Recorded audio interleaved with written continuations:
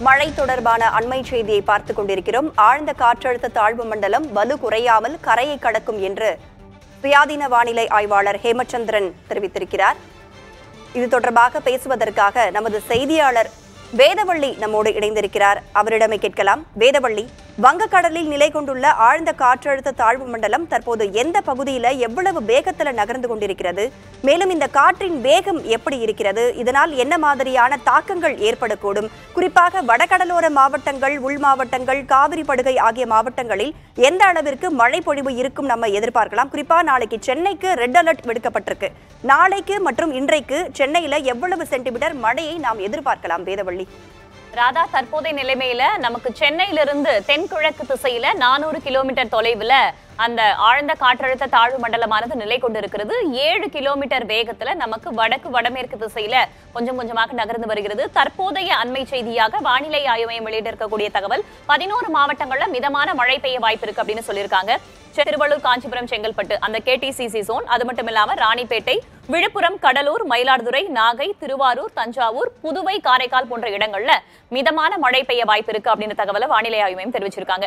ஆரம்பத்திலே வானிலை ஆய்வு மையத்தால சொல்லப்பட்டது இது ரொம்ப ட்ரிக்கியான சிஸ்டம் அதாவது கணிப்பதற்கு மிகவும் கடினமாக இருக்கக்கூடிய ஏன்னா சுற்றி இருக்கக்கூடிய கடல் சார்ந்த அலைவுகள் மற்றும் சூழல்கள் இடையூறுகள் அப்படின்றது அதிகம் இருப்பதன் காரணமாக இது கரையை கடக்கக்கூடிய இடத்திலிருந்து சரி அதோடைய தீவிரத்தன்மையிலையும் சரி அது கணிப்பதற்கு சற்று கடினமாக இருக்கு அப்படின்ற தகவலை ஏற்கனவே வானிலை ஆய்வு மையமும் தெரிவிச்சிருந்த நிலையில நேற்றைய தினம் புயலாக மாறாது என்பதான தகவல் அவங்க சொல்லியிருந்தாங்க. அதற்கு பிறகு டீப் டிப்ரெஷனும் ஆழ்ந்த காற்றழுத்த தாழ்வு மண்டலமும் வலுவிழந்து காற்றழுத்த தாழ்வு மண்டலமாக கரையை கடக்கும் அப்படின்னு கணிக்கப்பட்டிருந்த நிலையில தற்போது ஆழ்ந்த காற்றழுத்த தாழ்வு மண்டலமாகவே கரையை கடக்கும் அப்படின்னு அவங்களுடைய புதிய புயலுடைய பாதை அப்படின்றது வெளியாகியிருக்கு.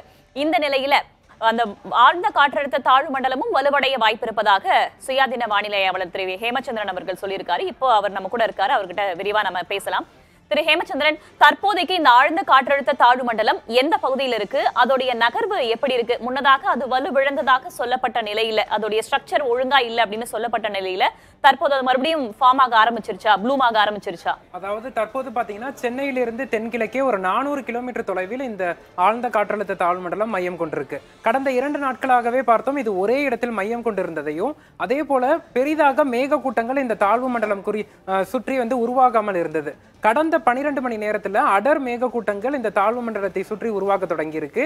இது மேலும் பல்வேறு வானிலை காரணிகள் அதாவது மேற்கத்திய இடையூறு விலகி இருக்கு அதன் தாக்கம் காரணமாக முழுமையான கீழ்திசை காற்றும் இந்த புயல் சின்னம் குறி- புயல் சின்னம் நோக்கி வர தொடங்கியிருக்கு. இதன் விளைவாக வரக்கூடிய மணி நேரத்துல இது அடுத்த ஒரு பனிரெண்டு மணி நேரத்துல மேலும் தீவிரமடைவதற்கான வாய்ப்புகள் இருக்கு. ஏன்? அதாவது நம்ம இப்ப பார்த்தோம்னா நேற்றைய தினம் அந்த அப்பர் லெவல் டைவர்ஜென்ஸ் மற்றும் லோவர் லெவல் கன்வர்ஜென்ஸ்னு சொல்லுவோம். அவையெல்லாம் நமக்கு சாதகம் இல்லாமல் இருந்தது.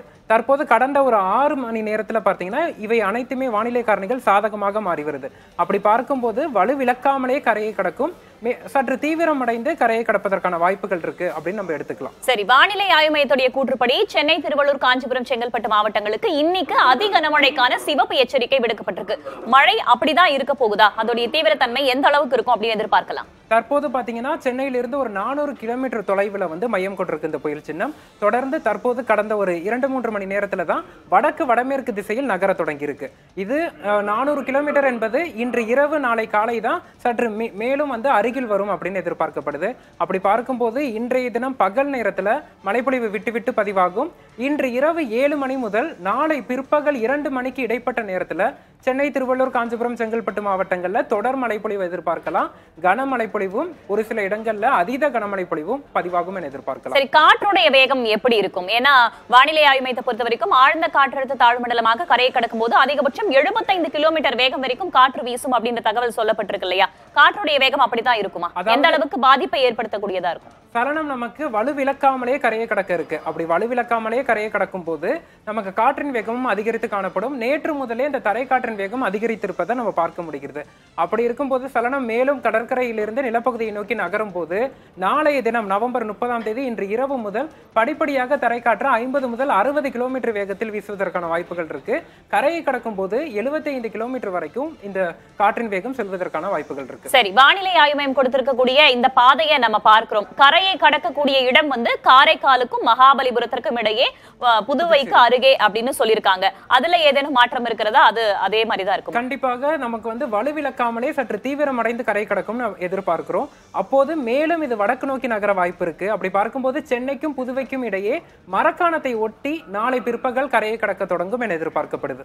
நாளை காலை கரையை கடக்க தொடங்கும் அப்படின்னு ஏற்கனவே வானிலை ஆய்வு மையத்தால சொல்லப்பட்டிருந்தது சற்றே தாமதமடைந்து ஒரு பிற்பகல் பனிரெண்டு மணி அளவில் கரையை கடக்க தொடங்கி ஒரு மாலைக்குள்ளாக முழுமையாக கரையை கடந்து உள் மாவட்டங்கள் நோக்கி நகரும் என எதிர்பார்க்கலாம். சரி ஒட்டுமொத்தமாக பார்க்கும்போது இது வலுவு வலுவடைந்தே கரையை கடப்பதற்கான வாய்ப்பு இருக்கு அப்படின்னு தனியார் வானிலை ஆய்வாளர் திரு ஹேமச்சந்திரன் அவர்கள் சொல்லியிருக்கிறார். வானிலை ஆய்வு மையம் ஏற்கனவே காற்றழுத்த தாழ்வு மண்டலமாக கரையை கடக்கும் அப்படின்னு சொல்லப்பட்ட நிலையில தற்போது ஆழ்ந்த காற்றழுத்த தாழ்வு மண்டலமாக கரையை கடக்க வாய்ப்பு இருக்கு அப்படின்னு வானிலை ஆய்வு மையம் உறுதி செஞ்சிருக்காங்க. எது எப்படியாக இருந்தாலும் சென்னை உள்ளிட்ட வடகடலோர மாவட்டங்கள்ல மிக கனமழையிலிருந்து அதிகனமழை வரைக்கும் நாம் எதிர்பார்க்கலாம். இந்த கனமழை மிக கனமழை அப்படின்னு சொல்றது நிச்சயமாக மக்களை அச்சுறுத்துவதற்காக கிடையாது. ஒரு விழிப்புணர்வுக்காக தான் முன்னெச்சரிக்கை நடவடிக்கைகள் முன்னதாகவே எடுக்கப்பட வேண்டும் அப்படின்னு ஒரு அலாரம் கொடுக்கறதுக்காக தான் இந்த செய்தியை நம்ம மறுபடியும் மறுபடியும் சொல்றோம். இன்று பிற்பகலுக்கு மேல மழையுடைய தாக்கம் படிப்படியாக அதிகரிக்க போகிறது. நாளை பிற்பகல் வரைக்கும் அந்த அதி கனமழை அப்படின்ற ஒரு விஷயத்தை நம்ம எதிர்பார்க்கலாம் அப்படின்றதா தற்போதைய தகவலாக இருக்கிறது ராதா. வானிலை தொடர்பாக விளக்கி அமைக்கும் திரு ஹேமச்சந்திரனோடு கலந்துரையாடி அமைக்கும் நன்றி வேதவள்ளி.